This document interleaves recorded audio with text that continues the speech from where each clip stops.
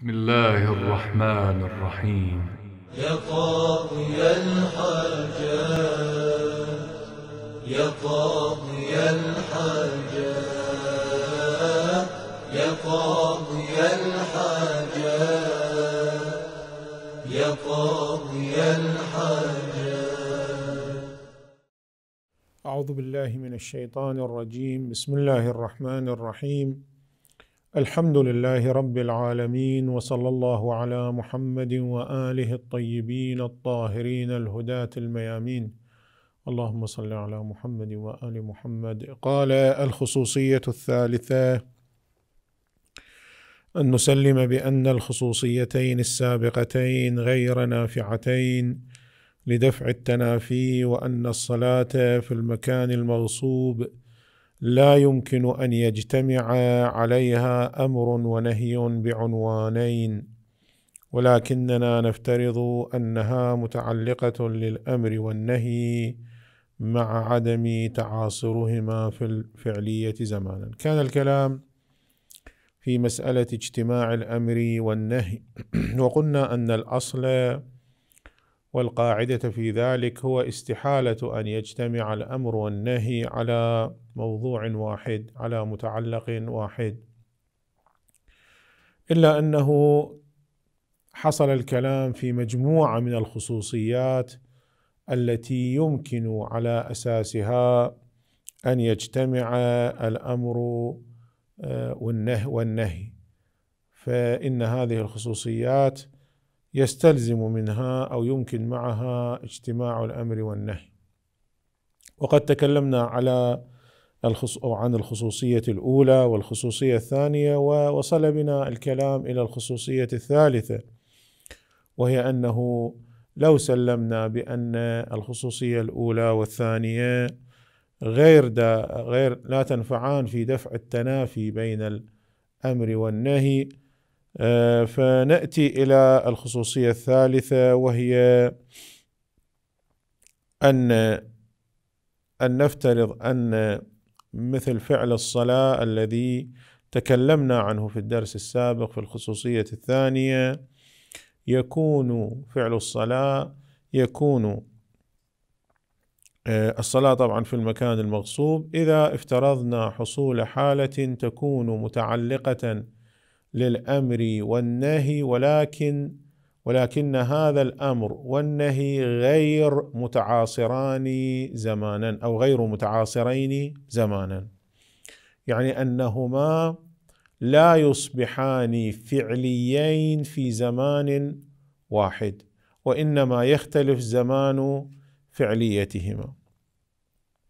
فهنا يقع الكلام في أن مثل هذه الخصوصية تنفع في دفع التنافي بين الأمر والنهي أو لا تنفع في ذلك. ما هو المثال لهذه الحالة؟ المثال الواضح لهذه الحالة. المثال كما يذكر السيد الشهيد هو طرو الاضطرار يعني أن يقع الإنسان في الاضطرار بسوء اختياره يعني أن يكون الإنسان أن يقع في الاضطرار إلى الغصب إلى أن يفعل فعلا غصبيا ولكن بسوء اختياره. كيف ذلك؟ أنه الإنسان تارة يدخل إلى الأرض المغصوبة لا باختياره وتارة يدخل إلى الأرض المغصوبة باختياره. الحالة الأولى أن يدخل الإنسان إلى الأرض المغصوبة لا باختياره لنفترض أنه لم يكن يعلم أن هذه الأرض مغصوبة. أو مثلا أن الظالم جاء به ورماه ووضعه في هذه الأرض المغصوبه هذه الحالة يكون الإنسان ليس بإرادته قد دخل إليها.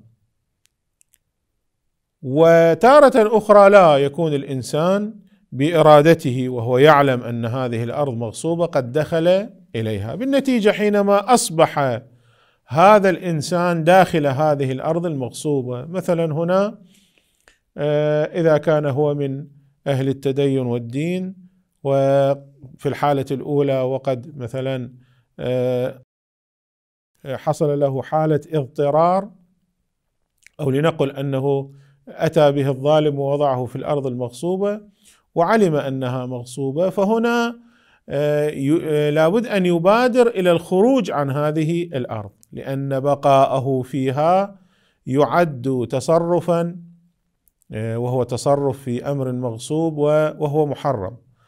فيبادر إلى الخروج. في حالة خروجه هذا الفعل الخروجي هو في الحقيقة أمر تصرف في المغصوب. ولكنه مضطر إليه مضطر إليه. الحالة الثانية أو الشخص الثاني الذي افترضنا أنه دخل إلى الأرض المغصوبة بإرادته وهو يعلم أنها مغصوبة هذا أيضا افترض أنه أراد أن يخرج آه، أنبه ضميره مثلا أو ما شابه ذلك قال أنه لا بد أن أخرج من هذه الأرض فتحرك للخروج من هذه الأرض. هذا فعله أيضا هو مضطر إليه لأنه لا بد أن يخرج ولكن هذا الاضطرار يكون قد وقع فيه بسوء اختياره بسوء اختياره. فهنا في كلا الحالتين يعني في حالة أن الشخص قد دخل هذه الأرض لا بإرادته الآن هو في حال الخروج هو مضطر إلى الخروج ولكن آه، هذا الاضطرار ليس بسوء اختياره. والحالة الثانية أن الشخص الذي دخل إلى هذه الأرض المغصوبة بإرادته وباختياره هذا أيضا سيكون مضطرا للخروج ولكن اضطراره يكون بسوء آه، اختياره. إذا الفرق بينهما أن هذا اضطراره لا بسوء اختياره وهذا اضطراره بسوء اختياره يعني اضطراره للخروج. الآن نحن نتكلم عن الخروج. فلو صادف أنه آه، أن الصلاة كانت في نهاية وقتها يعني بحيث لا يستطيع أن يخرج تماما عن هذه الأرض لا يخرج تماما عن هذه الأرض ويصلي خارجها في أرض مباحة. يعني لو أراد الصلاة لابد أن يصلي في هذه الأرض المغصوبة. وافترضنا أنه كما يذكر السيد الشهيد أنه تمكن من الصلاة أثناء الخروج من دون أن يؤدي ذلك إلى طول مكثه في هذه الأرض المغصوبة. يعني مثلا يصلي وهو يتمشى وهو يمشي أو ما شابه ذلك إذا أمكن ذلك. فأمكنه أن يصلي أمكنه أن يصلي آه، في آه، أثناء الخروج ولكن لم يؤدي لم تؤدي الصلاة إلى طول مكثه في هذه الأرض المغصوبة. هنا بالنسبة للحالة الأولى ذلك الشخص الذي دخل إلى الأرض المغصوبة لا باختياره خروجه عن هذه الأرض. هذا مضطر إليه. قلنا لا بسوء اختياره. ولذلك يكون هذا التصرف يعني التصرف الخروجي مباحا له من قبل الشارع لم يتعلق به النهي. هذا التصرف لم يتعلق به النهي. ولهذا لو صلى أثناء خروجه من دون أن يؤدي إلى أن يؤدي ذلك إلى بقاء أو طول مكثه في هذه الأرض فلا مشكلة عليه ولا نواجه مشكلة هنا لأن الصلاة تكون مامورا بها ولا تكون منهيا عنها باعتبارها تصرف غصبي لأننا قلنا أن خروج هذا الشخص من هذه الأرض ليس منهيا عنه بل هو مباح من قبل الشارع باعتبار أنه من أول الأمر لم يكن دخوله بإرادته وإنما أدخل إليها قصرا مثلا أو بالقوة. أما الكلام في الشخص الثاني وهو ذلك الشخص الذي دخل إلى هذه الأرض بإرادته وباختياره ثم آه، اضطر إلى الخروج أصبح مضطرا إلى الخروج وهذا الاضطرار هو بسوء الاختيار. وصادفه أن آه، أنه لا بد أن يصلي باعتبار أن الصلاة قد مضى وقتها ولم يبقى منها إلا القليل الذي لا يمكن له أن يخرج عن هذه الأرض المغصوبة ويصلي خارجها. هنا في الحقيقة صلاته آه، ما هو حكمها؟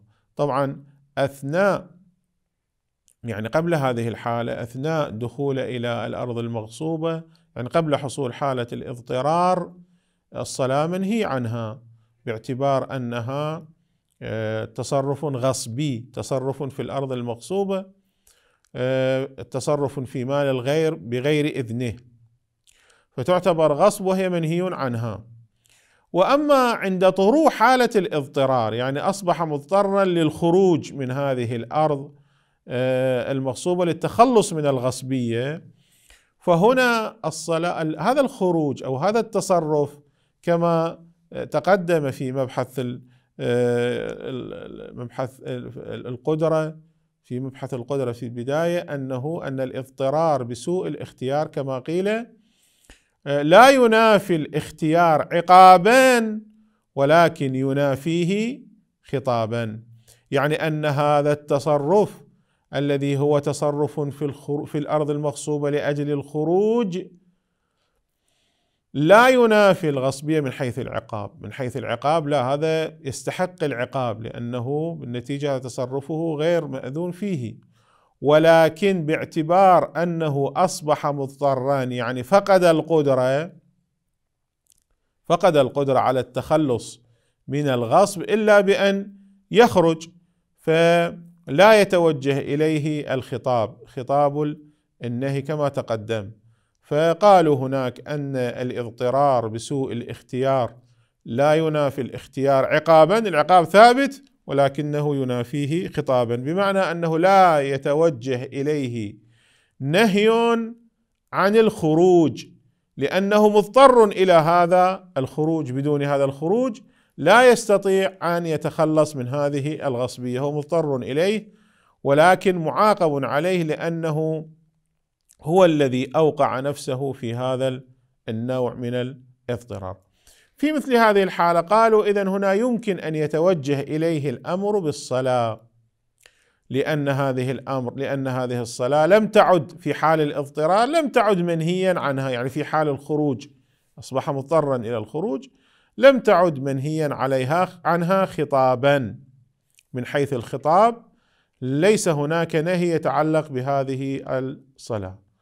وإنما يوجد أمر بالصلاة باعتبار أنها في آخر وقتها وإذا أخرها إلى أن يخرج آه، سينتهي الوقت فتكون مأمورا بها. وليس هناك نهي خطابا فهنا أمكن اجتماع الأمر والنهي على الصلاة ولكن فعليتهما زمانا مختلفة. فعلية النهي الخطاب النهي كانت قبل أن يقع في الاضطرار للخروج وأما فعلية الأمر بالصلاة كان أثناء اضطراره إلى الخروج. في فترة الاضطرار النهي ارتفع عنه خطابا وإن لم يرتفع عقابا وأما الصلاة فقد توجه إليه فلم يتعاصرا في الفعلية. الصلاة والنهي عن الغصب لم الأمر بالصلاة والنهي عن الغصب لم يتعاصرا زمانا في فعليتهما بل أن النهي عن الصلاة قبل الاضطرار كان فعليا ولكن بعد الاضطرار ارتفع خطابا وإن بقي عقابا والأمر بالصلاة كان متوجها إليه فقالوا هنا يمكن أن يأتي بالصلاة يعني يأتي بالصلاة ولا يحصل تنافي بين الأمر بها وبين النهي عن الغصبية أثناء الخروج. السيد الشهيد آه، يقول أن التحقيق في هذه المسألة أن هذا أن هذا الحل لا يدفع التنافي بين الأمر والنهي لا يدفع التنافي بينهما. لماذا؟ لأنه في حالة الاضطرار يعني حينما كان يريد أن يخرج هذا الشخص يخرج من الأرض المغصوبة أصبح مضطرا إلى الخروج في حال الاضطرار وإن كان الخطاب النهي ساقطا عنه ولكن روح الحكم روح النهي آه، وهو الملاك ثابت بالنسبة إليه. نعم نحن لو قلنا أن الحكم يتبدل كان الحكم هو النهي الآن أصبح الإباحة حتى من حيث الملاك تبدل الحكم أمكن ذلك. حتى من ناحية الملاك لو تبدل الحكم إلى الإباحة وجواز أن آه، يقوم أو يفعل هذا الفعل الغصبي وهو الخروج من هذه الأرض نعم يمكن القول هنا يمكن أن نقول هنا آه، أن الصلاة تتوجه إليه. وأما في مثل هذه الحالة والقول بأن الاضطرار بسوء الاختيار ينافي الاختيار أو لا ينافي الاختيار عقابان ولكن ينافي خطابا يعني فقط الخطاب يرتفع. فأما الحكم بروحه وبملاكه آه، وبزاجريته تبقى فهذا لا آه، ينفع في آه، أن يجتمع لأنه أن يجتمع مع ملاكات الصلاة التي هي المصلحة. لأنه المشكلة لدينا هنا هو التنافي بين الملاكات. هنا العقاب يكشف لنا عن أن المفسدة ما زالت يعني توجه العقاب أو ثبوت العقاب يكشف لنا أن المفسده ما زالت قائمة في هذا الفعل الفعل الخروجي. وكيف تجتمع مع المصلحة الموجودة في الصلاة؟ فهذا الحل في الحقيقة لا ينفع آه، في دفع التنافي لأن التنافي على الأقل هو ثابت آه، في حالة آه، يعني ثابت في مرحلة الملاكات. ثابت لم يندفع. فإذا لم يندفع فلا ينفع ذلك. طبعا هذا إن قيل بأن الخطاب يرتفع يعني خطاب النهي يرتفع عن هذا الشخص المضطر لأجل اضطراره. وأما إذا قلنا كما يعني حققه السيد الشهيد في تلك المسألة أن الخطاب باق على حاله فالمسألة تكون أوضح أنه في حال الخروج النهي متوجه إليه خطابا وعقابا فحينما يأتي الأمر بالصلاة فيكون متعارضا مع الأمر بهذه الغصبية وهذا أمر واضح. لاحظوا قال الخصوصية الثانية أن نسلم بأن الخصوصيتين السابقتين غير نافعتين لدفع التنافي التنافي بين الأمر والنهي. وإن الصلاة في المكان المغصوب لا يمكن أن يجتمع عليها أمر ونهي بعنوانين. ولكننا نفترض أنها يعني أن الصلاة في الأرض المغصوبة متعلقة للأمر والنهي. يعني هذه الخصوصية الثالثة هذه هي الخصوصية الثالثة. نفترض أن الصلاة في الأرض المغصوبة متعلقة للأمر والنهي مع عدم تعاصرهما في الفعلية زمانا. لم يكونا فعليين في زمان واحد وإنما اختلفا زمان فعليتهما. فيبحث عما إذا كان هذا يعني هذا الحال هذه الخصوصية نافعا في دفع التنافي أو لا لا ينفع. ومثاله المقصود حالة طرو الاضطرار بسوء الاختيار أن أن يطرأ على الإنسان الاضطرار لكن بسوء اختياره وتوضيحه أن الإنسان تارة يدخل إلى الأرض المغصوبة بدون اختياره وأخرى يدخلها بسوء اختياره. وفي كلتا الحالتين يصبح بعد الدخول مضطرا إلى التصرف في المغصوب يعني في الأرض بالمقدار الذي يتضمنه الخروج. يعني حينما يصبح داخل هذه الأرض والآن يريد أن يتخلص من هذه الغصبية لا يستطيع أن يتخلص منها إلا بأن يخرج منها وهذا الخروج من نتيجة تصرف في المغصوب. فهو مضطر إلى هذا التصرف آه الذي هو تصرف أثناء الخروج. غير أن هذا المقدار يكون مضطرا إليه لا بسوء الاختيار في الحالة الأولى لأن الإنسان دخل إلى هذه الأرض بدون اختياره جاء به الغاصب وضعه في هذه الأرض المغصوبة مثلا. ومضطر إليه بسوء الاختيار في الحالة الثانية باعتبار أن الدخول إلى الأرض المغصوبة أولا كان باختياره وبإرادته. ويترتب على ذلك أن هذا المقدار في الحالة الأولى يعني هذا المقدار من التصرف وهو الخروج في حال الخروج في الحالة الأولى يكون مرخصا فيه من قبل الشارع لأنه بالنتيجة مضطر إليه لا بسوء اختياره فيكون مرخصا من قبل الشارع. خلافا للحالة الثانية لأن الاضطرار بسوء الاختيار لا ينافي المسؤولية والإدانة كما تقدم. تقدم أن الإنسان إذا أوقع نفسه في الاضطرار بسوء اختياره فإن الإدانة ثابتة عليه. ولكن النهي ساقط يعني الخطاب خطاب النهي يكون ساقط. هذا على القول المتقدم بأن الاضطرار بسوء الاختيار لا ينافي الاختيار عقابا. وينافيه خطابا. إذا بناء على هذا القول يكون النهي من حيث العقاب ثابت على هذا المضطر بسوء اختياره وعلى تصرفه أثناء الخروج ولكن الخطاب النهي ارتفع. خطاب النهي ارتفع كما ذكرنا هناك باعتبار أنه أصبح مضطرا على أي حال مضطرا إلى هذا النوع من التصرف. وعليه فلو كان وقت الصلاة ضيقا وكان بإمكان المكلف أن يصلي حال الخروج الخروج من الأرض المغصوبة بدون أن تطول بذلك مدة الخروج. فصلى بنفس خروجه فهذه صلاة في المكان المغصوب ولا شك في وجوبها في الحالة الأولى. طبعا إذا طال الزمان يعني لو صلى وطال به الزمان كان يحتاج أن يتوقف ويصلي مثلا ويطول به الزمان. هنا يصير عندنا حالة إنه لابد من الترتب إنه لابد أن نرى ما من الذي أو ما هو الذي ملاكه أقوى. هل ملاك المغصوبية أقوى؟ يعني المفسدة فيها أقوى فتتقدم على الصلاة. فلا بد أن يخرج ويصلي حتى وإن كان قضاء.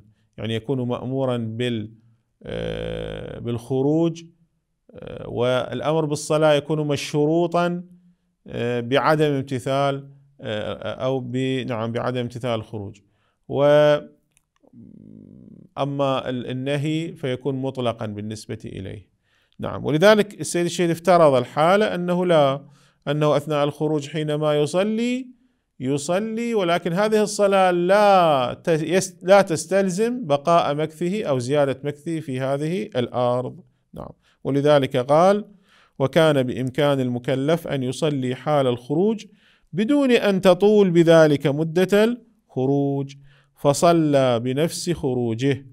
فهذه صلاة في المكان المغصوب ولا شك في وجوبها في الحالة الأولى. لأن هناك نهي لا يوجد هناك ترخيص في التصرف الخروجي.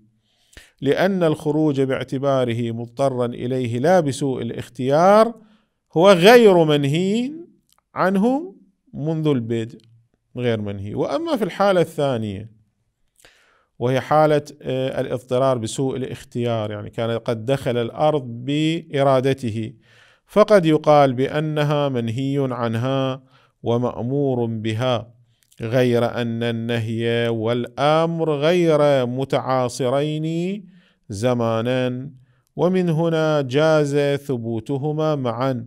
وذلك لأن النهي سقط خطابا بالاضطرار الحاصل بسوء الاختيار حال أنه مضطر فلا خطاب بالنهي عليه.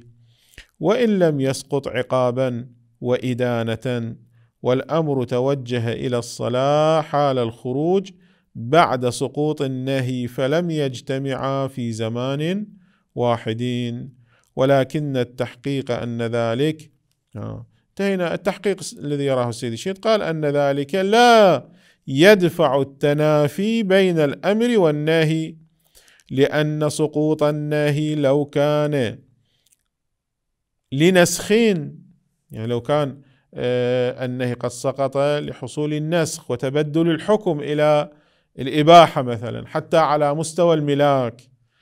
وتب... نعم. لو كان لنسخ وتبدل في تقدير الملاكات لأمكن أن يطرأ الأمر بعد ذلك.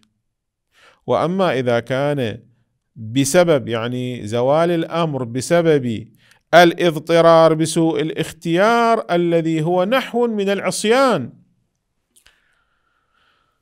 نحو من العصيان ولذلك الملاك المفسدة موجودة ما زالت والعقاب ثابت. فهذا إنما يقتضي سقوط الخطاب فقط لا المبادئ.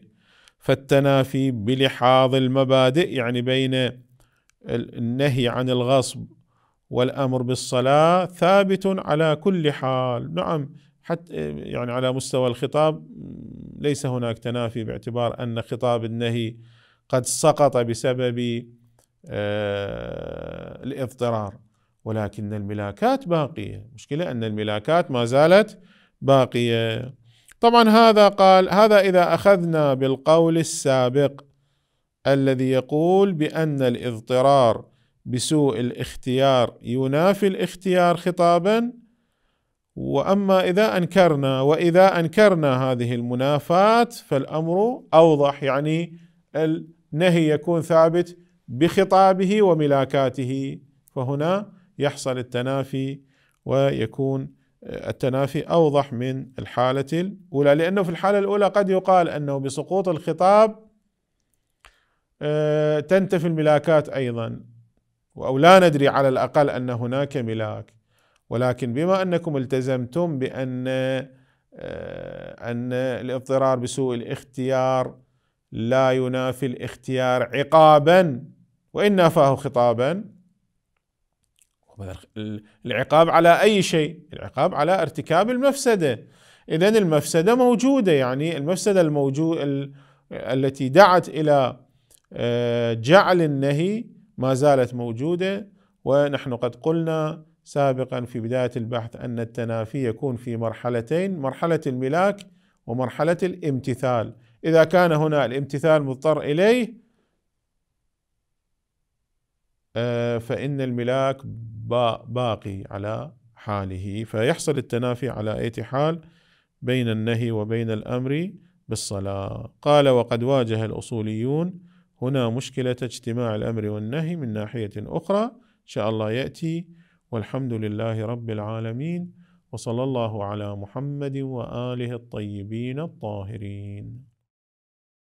اللهم صل على محمد وآل محمد. اللهم صل على محمد وآل محمد.